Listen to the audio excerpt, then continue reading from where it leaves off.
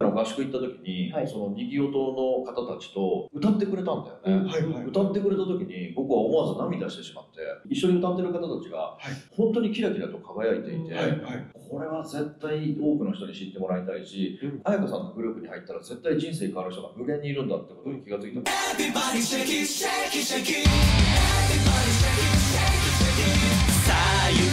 希望の方へ持ってくものは Yes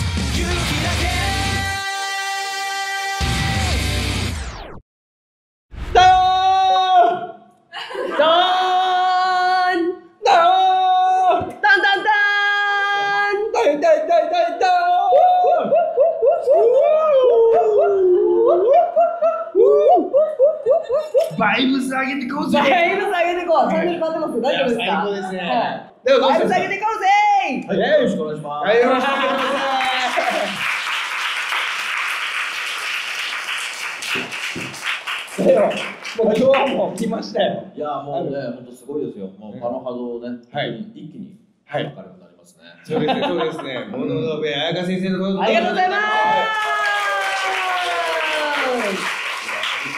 はい、ということで、彩香先生、あの前半がですね、あの名前に星つけたら、はめちゃめちゃ開運するぜ。いいやいやいやいやいや。まあそうだと思いますけれどあれから随分人生変わったもんね。え？あれから？いや名前に「物の部星彩い。やいやいやいや。丸。ついてない。もしかして、ついてない。大王のアドバイスによって名前に星つけたんですか？えついてない。いや今ついてないね別に。もうその後爆上がりするって言ったら本当に爆上がりされたんで、なるほどビフォーアフターでいうとど、何がどうなった感じですか？い、やもう別人格だよね。別人格になった。はい。もともとエネルギー高かったけど、はい。もう今ちょっと嫌だもん。高まりすぎて。すごい。高すぎてやだ。高すぎてやだね。すごいですね。ということで、あやかさん、はい。あ今回はですね、暗かったあやかさんがどのようにですね、暗いエネルギーをめちゃめちゃ出して、少年院、いや言ってないわ。言ってないわ。骨流せないだろ。だと言ってたとしても。そういう話で。あの対談するときにその話だけは触れないでくれって。ダメだ事前にもらっていやたのいやいや。いや、すいません。それっぽくなるからやめてよ この時代まあまあ昔のやつ掘るんですからやめてよ。17、18、19って入ってたんだから。い長っ。相当よ。10代の3年間だったら。相当やばいやつやってる。でかいでかい。そうなんですね。ちょっと話変えていいですか、はい。変えてほしい。あの僕彩香さんの講演会を1回だけ聞いたことあるんだけど、はい。素晴らしいお話をされててはい、はい、はい。感動したんですよ、はい。本業は歌う人だけど、うん。講演もすごい講演してるんですよ、で僕講演本当頼みたいなと思うぐらい素晴らしい内容で、うん。ちょうどだからあれですよ。夢話合宿夢合宿の時に喋ってたじゃないですか？1時間か1時間半ぐらい。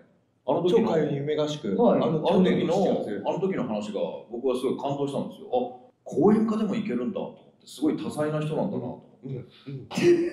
何の話してました？だから話変えるよって言ってるああなるほど。はい。いやだからすごい。これでも多分なんですけどステージってはい MC するんで、うん。多分一緒なんですよね。そうなんだ。いやコンサート中にこうね MC をうん。してくるじゃないですか。まあそれは話し方がうまいというか、うん。話の内容も素晴らしかったすごい。うーん。だから、こう講演会とかも頼まれるでしょ？あでも案外あの言っていただけることはあるんですけどね。多分あれ一回聞いた人は、うん多分また聞きたいと思う。いや、めっちゃそうだと思い講演ます。会もっとやったらどうですか？ってそんな暇ないんですよね。い本業が忙しいもんね。ただいまに公演情報をあなたにお届けするよ。急ですね。急ですよ。だいぶ僕たちいろんなとこに行くんですよ。行きます。5月28苫小牧苫小牧29札幌。札幌。6月1日新大阪。新大阪。6月27日京都です。京6月2930でビジネスブートキャンプ in 東京東京そして7月20仙台。仙台。22青森。青森。23盛岡。盛岡。そして24が山形山形。8月2日が八王子。八王子。そうです。8月19札幌。札幌。27静岡。静岡。そして9月15日仙台アガスティアノありがとうございます。ありがとうございます。遊びに来てください。超開運夢合宿をやって、で、その時に宮本幸先生が、彩香さんのやつ初めて触れたんですよね、呼吸のやつ。はい去年ですね。去年ですね、すぐに青森の声が行ってたもんね。そうなんですよ、いや素晴らしい。青森まで来てください青森はい素晴らしい内容でしたよ。ありがとうございます。これは皆さんにね聞いていただきたい内容でした。ね、これですね、これ。はい。あ、こう夢がだんだん席なくなってきてるんで、早めに持ち込んでほしいですね。はい。いや、すごい。確かに、めちゃめちゃそうですよね。彩香さんの説明って、あんま表に出てこないじゃないですか。でも、入ってみると、学んでみると、めちゃめちゃアカデミックで、めちゃめちゃ腑に落ちる説明をしてるんですよね。うんいや、本当に講演家なんだな。うん。だいぶ感動したんですよ。いや、感動しましたね。どんな話するのかなと思って、ね、ちょろっと聞いてみようと思ったら、ちょろっとじゃなくて最後まで聞いちゃいま。いや、そうですね。ありがとうございます急に少年院からのギャップがやばいですね。いやいやしかも少年言ってるみたいな感じになってるのこれを払拭する話してほしいんですよいや、ね僕はしてるけど。戻してきますねなかなかね 少年院は言ってないと思うんですけども、当時ね、ブラックエネルギーを出してた彩香さんが今はい。めちゃめちゃ光のエネルギーを出してるじゃないですか？で何がどのように変わっていってこんな感じになったんですか？これ多分あの、まあ、私がね今させていただいてることまんまなんですけど呼はい。吸とやっぱり声の振動数っていうのを意図的に変えていく。多分前はいけてる時はいけてる。多分ご自身の中でもあの日常生活の中でいい時と悪い時って結構このね差が激しい方っていらっしゃるじゃないですか。私結構躁うつっぽかった時はやっぱりステージにまでもうずっと出てるんで、いい、時はすごいんだけど、これのこのギャップですごい下がるっていうのを繰り返しまくってたんですよでそうすると心結構疲弊してくるじゃないですか、これ振れ幅が広いと、そう意図的にそれをこっちに行っちゃうんだなっていうのが分かると下がらないようにするっていうのを意図的にちゃんとトレーニングとしてやるって決めてから全然大丈夫あ、そうなんそれまでもグラングランで、何歳ぐらいまでグラングランだった2019年の11月。まあまあ最近まで。つい最近までグラングランです。あ、そうなんですね。自分の墓は自分でほんまに掘るタイプ。あ、そうなんです3ね。日間ぐらい同じことでずっと24時間悩めるタイプなんですよ。あ、そうなんですね。だいぶその時のこと知ってるんですいや、もう悩み出したらどこまでもいいからね。だから本当、周りの人から本当、ディグダグって言ってディグダグ。ディグダグ何なんですかそれ？ずっと言われてポケモンかなんかですか？いやいや、あの、穴掘る。あ、そう。なの穴を掘るゲーム。ゲーム。を、そんなもうそれぐらいずっと掘られてて、掘られてて。もう本当落ちるととことんまで落ちるからね。あ、そうなんですね。それ。は本当なんですよ。だからそれをいつもサポートしてきて、まあ、大王がサポートされてきたんですね。二人でな、二人三そう二ね人三脚でこやっことまで。ここまでやってね。やっとここはそうなんですい光が差してきましたね。これあれですね、売れたお笑い芸人の、あれですね、妻の海外しい妻の、あ、そうなんですいつも褒めて褒めて褒めて、褒めて伸ばしてきた本当にもう長所2019進展法できたからね。あ、そうなんですうね。ん。もう、あゆさん、もうやめた方がいいですよ、この人とお付き合い。でも実際のところは、はい。あの結構本当に桜子さんすごいターニングポイントに来てくださってるんで。いや本当の。本いや、僕多分ね、はほんの少しは貢献してると思うほんの少しどころじゃないんですよね。え、そう。な教えて、教えてくいださや、ずっとその、にぎ音っていうのをやられてて、はい合唱団のね。はい。でそこで一生懸命、ね、あの時はもう日本全国というかね、はい回られていて、はい。でその時に一生懸命頑張ってるから、もう絶対応援してあげたいなと思って、一回、なんかの合宿行った時に、はい。そのにぎ音の方たちと歌ってくれたんだよね。い。はいはい。歌ってくれた時に僕は思わず涙してしまってすごい人っていうのは知ってるけど、はい。あこういうことがやりたいんだと思って、はい。でそこにいらっしゃるそのにぎ音の方たち一緒に歌ってる方たちが、い。本当にキラキラと輝いていて、もう本当人生の喜びを知ったみたいなのを見た時にあこの人がやりたいことってこういうことなんだこういう世界観を目指してるんだと思った時に、これは絶対多くの人に知ってもらいたいし、うん。この活動に彩香さんのグループに入ったら絶対人生変わる人が無限にいるんだってことに気がついたから僕はもう宣伝部長になってめちゃくちゃ宣伝した。ほんまにそこからすごいお話ししてくださってその時はまだその桜庭さんのことをあのそんなに知らなかったんですよね。でお互い結構この圧がすごいから最初初対面で私は圧ない。いやいやいやいや圧の塊じゃゃないですか。私は圧の塊圧ってなって。いや、互いに思ってたんですよ。そう。互いにちょっとしんどいなって。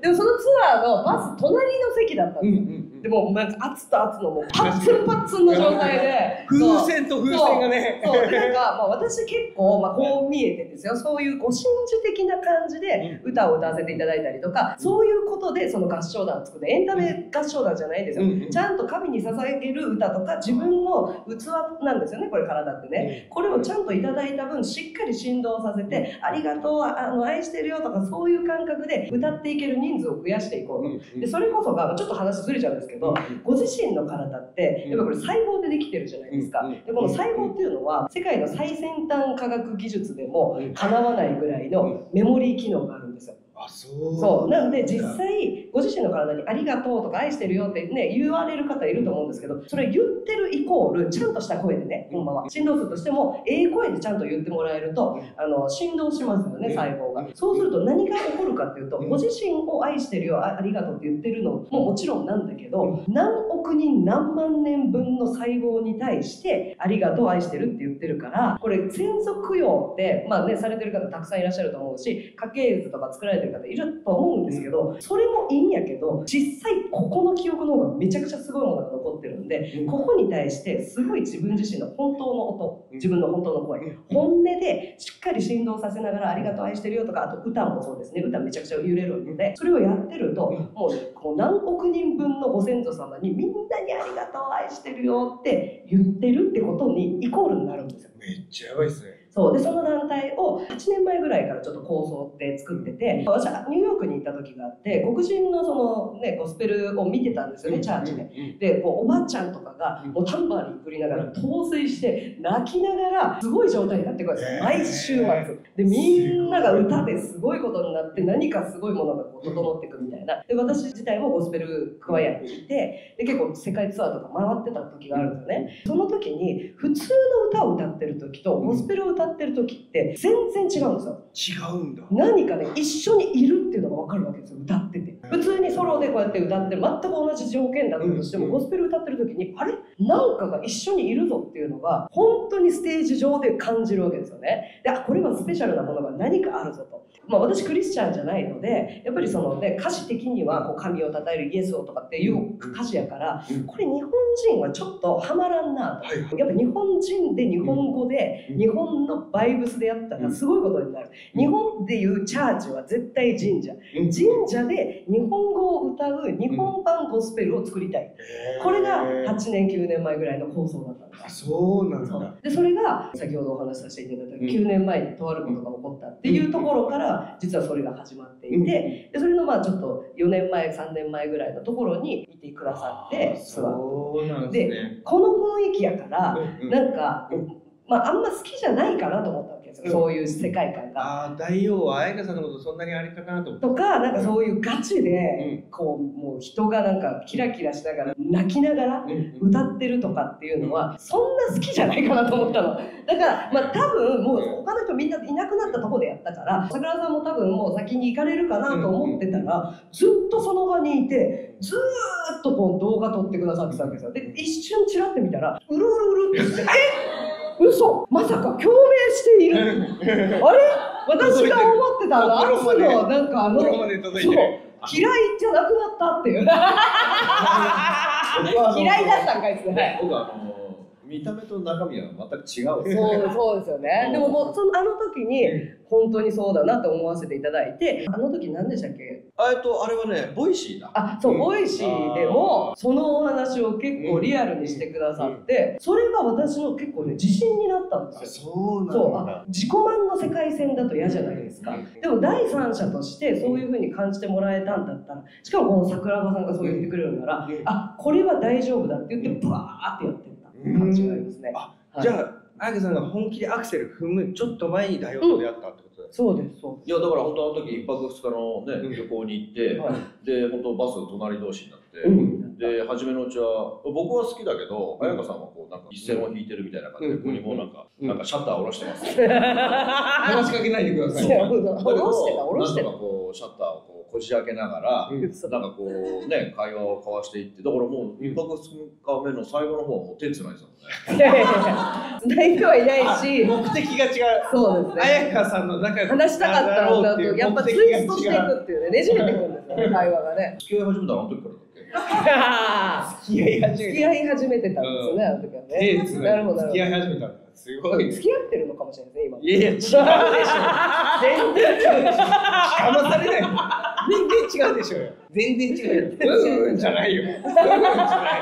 うんうんじゃない全然違う。これ何の収録ない、今日。いやでも残念ながらもう本当に売れっ子になってしまったので、はい。残念じゃないですもうあんまりあれでそういうのやってないですよ。ねえどういうことですか？今までほら毎月毎月どっか行ってみたいなやつあじゃないですか。これでもちょっと意図的に毎月あの本当に北海道から沖縄まで毎月通わせていただいて、そのモノノベメソッドって本来の呼吸と本来の声に戻ってもらって、まあ、潜在能力を覚醒するっていうメソッドなんですけど、うん。3年間ぐらいさせていただいて結構仲間たちができて今度はちょっと東京と大阪だけに集中させてそこでもっと純度を上げていこうっていうフェーズを今ちょっと実験でさせてもらってる感じなんですけどやっぱりねスピード感が全然変わってくるんですよ。これ見てる方でそこに参加したかったら何を見たらいいんですか？これ概要欄に。概概要欄はい。にぜひと。も、あと彩香さん。あとは YouTube YouTube やってらっしゃるからまあ、ぜひ YouTube チャンネルを覗きに行ってみていただきたはい。い、ですね、あと LINE 公式アカウントからですね、あのうん。申し込みできるんで、うん。ぜひ申し込んでほしいとね。思います、もうね。ぜひとも一緒に歌っていただければ。あ、絶対そうです。ね、あ人生変わるよね。あと、はい彩香さんと大王ともう同時に会いたいよって方はこれですね。